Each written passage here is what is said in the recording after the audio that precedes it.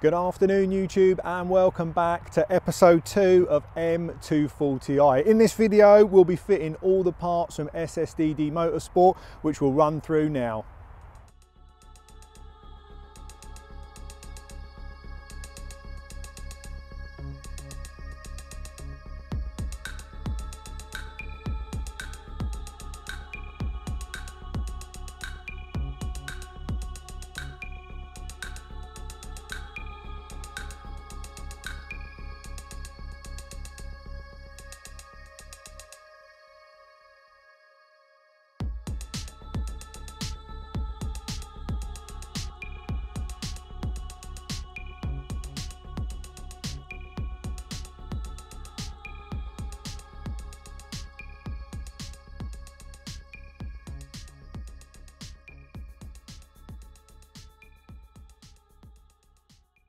So the first part to install is the M3 style mirror caps, arguably the easiest part to fit and the most visually pleasing. They've made such a difference to the look of the car. And as I'll overlay a clip now, really easy to fit. You simply pick them from the corner, run a trim tool around and they pop off. Literally two minutes to fit these.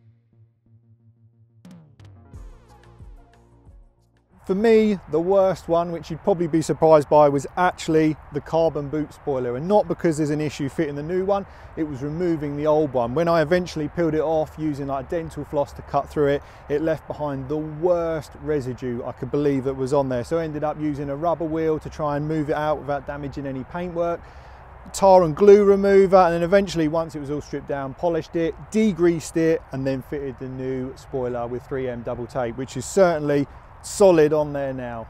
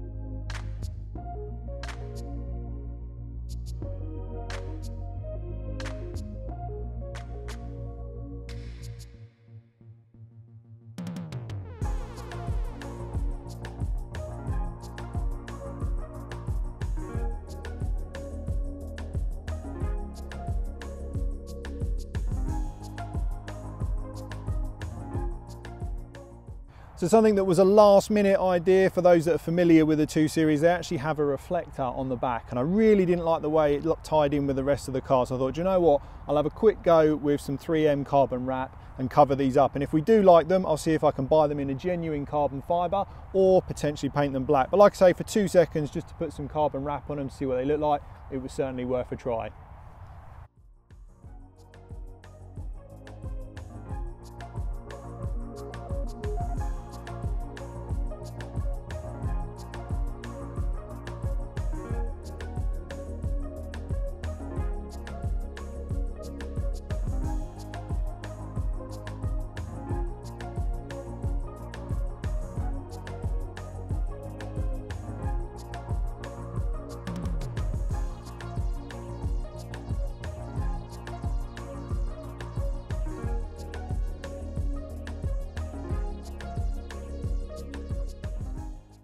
So moving on to the front of the car, we have the carbon splitters or fangs as they're known as well as they're designed just to be on the corners. And now the reason I went for these and not the full length is when you end up with the full length it just becomes a bit of a nightmare with speed bumps. We live around London it's not ideal. So I'm sure there's some potential that these could catch but they're easy to replace and they can be replaced side by side. So whilst these were also fitted, I did also install the black fins, which I say were the standard ones repainted. And I think it's really tied the front end in because these were in the grey, the mirror caps are in the grey and the wheels are in the grey. So that's now all gone just to the black and white theme throughout the car. So it's pretty straightforward to pop the grills out. Again, straightforward to remove the splitters. The only thing I did add, which you don't have to do, is I put some carbon wrap inside the gap. And now the reason I did that is if you you do just install the splitter, you end up with like a white line under there, which is normal, unfortunately, with the M3s as well. And it just ties it all in, looks really factory fresh.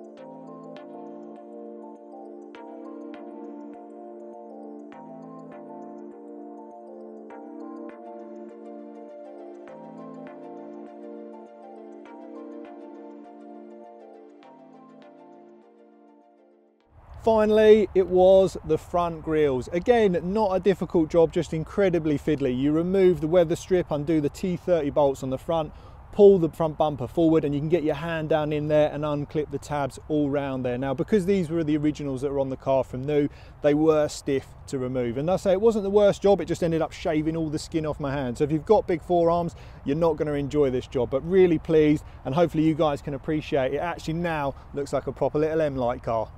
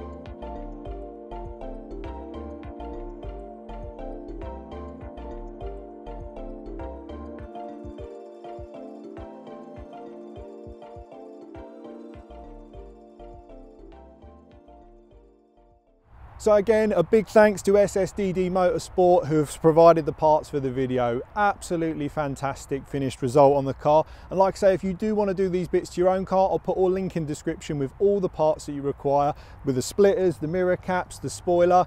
Honestly, thrilled to bits of how it's come along. So looking forward to getting into episode three. If you did enjoy the video, make sure you like and subscribe. Until next time, thanks for watching.